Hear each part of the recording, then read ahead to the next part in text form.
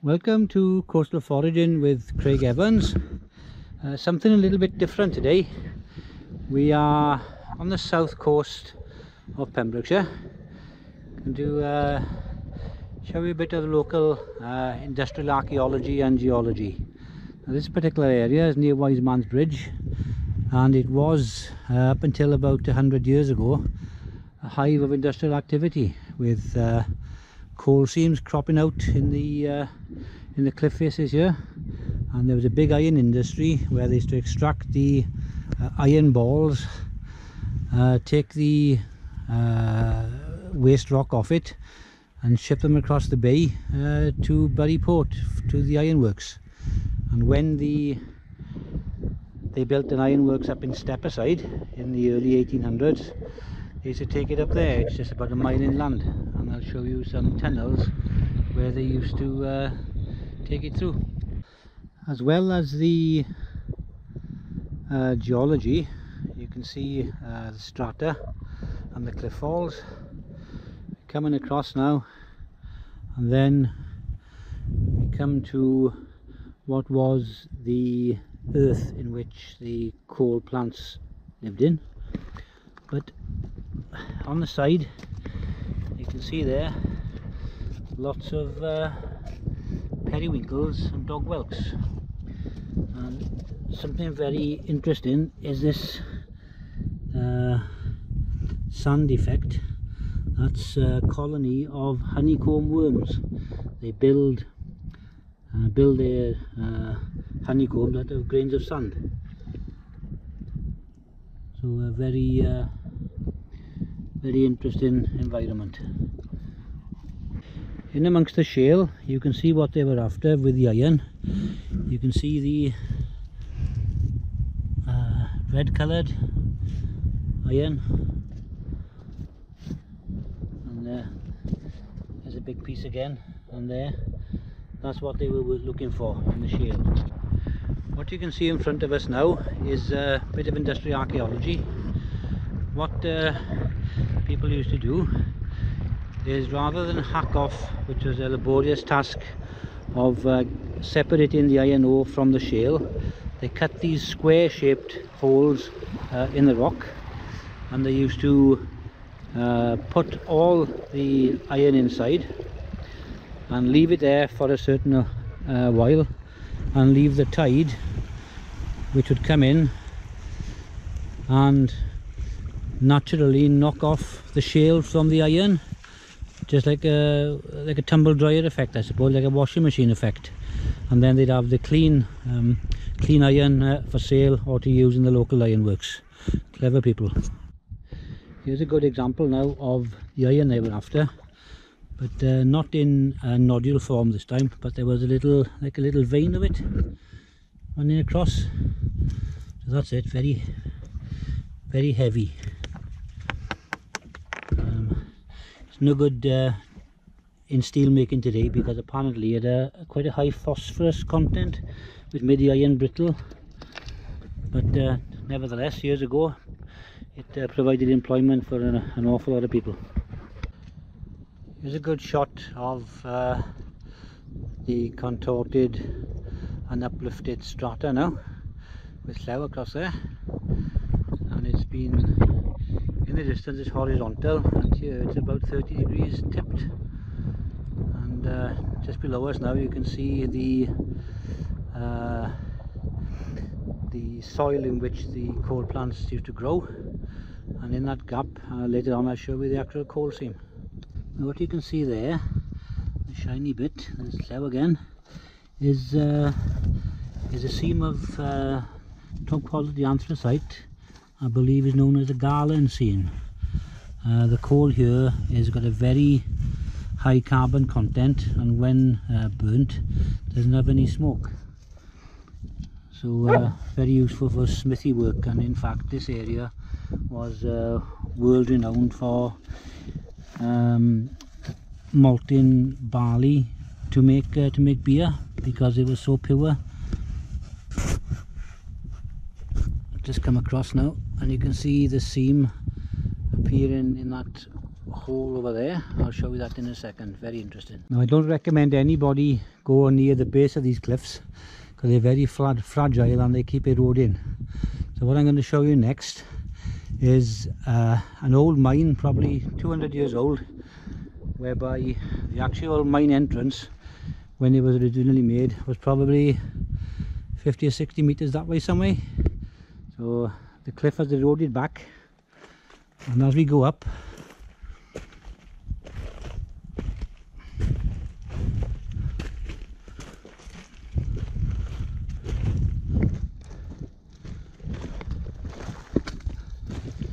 you can see in front of us there that's the old mine where probably children because it's a very thin seam of coal uh, you can see the coal that's left there. And just in front of us there is the spoil of which that piece in front of us where they dug the floor of the mine and packed in the area which they took the coal off to give them extra height. But still the height's only about 18 inches to a foot anyway so it must have been horrendous work. So I've just moved back now probably about 40 meters from the that old mine entrance. Just to show you the angle and looking up the cliff you can see uh, a sandstone uh, roof probably about 10 foot thick. And above that if you can make it out there's another seam of coal. See it shining there?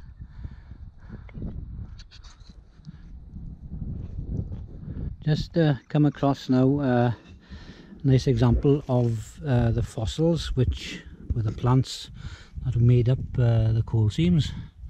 This seems to be uh, like little ferns. It looks as if they were the tips of the growing plants.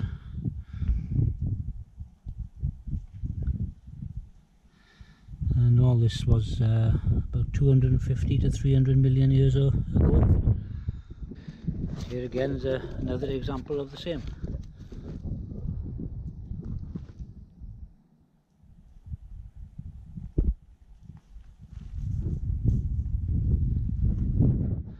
Very and I said about uh, erosion uh, a few minutes earlier. Uh, you can see that that part of the cliff probably, I know, maybe a thousand tons of uh, stone and rock. Uh, looks as if it's uh, collapsed in the last couple of weeks but what its rockfall has brought down is traces of the coal from right in the top there interesting feature of this particular rockfall as you can see the surface of this uh, rock it looks as if it's been cut into uh, blocks of cheese or slices of cake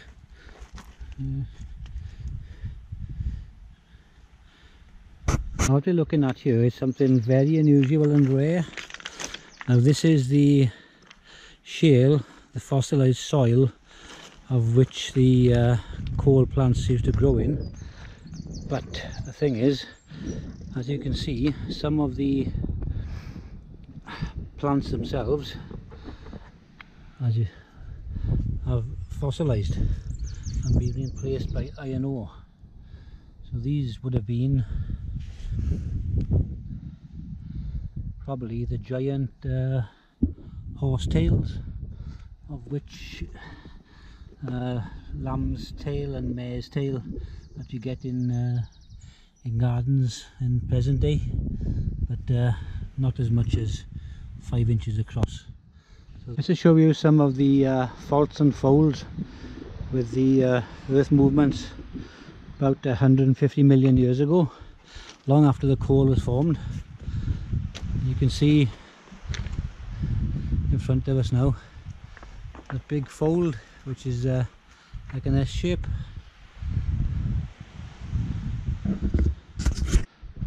just above us now in the uh, top of the cliff you can see an old uh, mine that was probably an airway driven into the cliff to provide air for when they uh, drove in the levels for the coal and the ironstone. So this particular area is riddled with uh, with mines and drifts. And uh, it's quite unstable as you right what we're looking at here now is the fossilized ripples of uh, a silty lake bed. And uh, that might be a fossil I'm not sure. But uh, that was a, a ripple of water about 250 million years ago. Looking across the strata now which is obviously folded and the weaker parts of the fold have been eroded by the waves to form caves. Uh, I don't think that'll be long before it collapses. Come back for another look now at this fossilized uh, forest. Now these uh, as I explained before are what remains of the giant horsetails. If you look at uh, this one in particular you can see the actual growth ring inside it. So these would have been I don't know 20 30 feet tall. And and this would have been the the soil or the mud at the bottom of the swamp it grew in. And these were the actual plants that uh, had formed had formed the forest that subsequently when it was covered over in other places uh, turned into coal but in this case it's turned into iron ore. There's a few more fossils now these look as if they're some kind of uh, long-leaved plant. They go in across that way and this way. And you can see the detailing in there.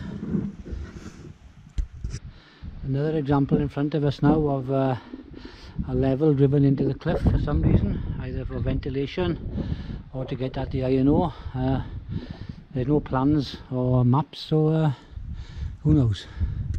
Looking at the contorted uh, coal seams now and the uh, sandstone as you can see it's uh, quite a mess up there.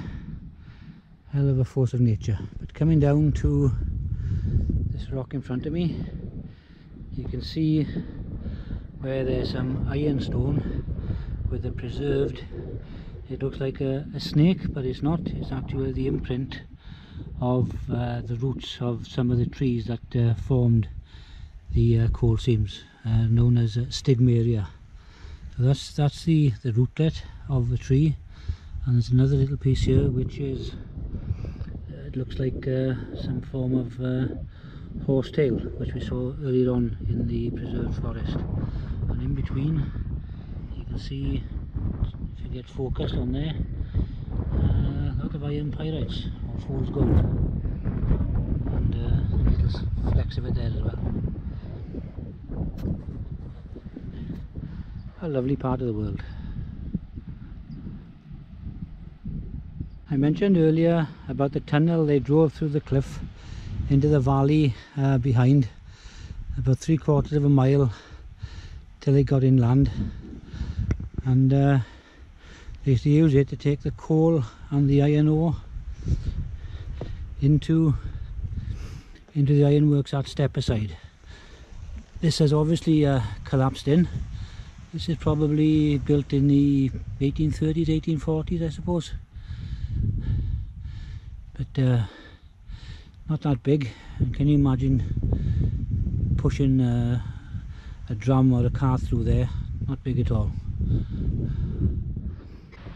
this bit's more uh, geography than geology really this is uh, part of, uh, of the storm beach whereby the eroded cliffs are sorted by the waves into different sized boulders and cobbles so you've got the bigger ones on the top and they get progressively smaller as, uh, as the current drifts towards the beach.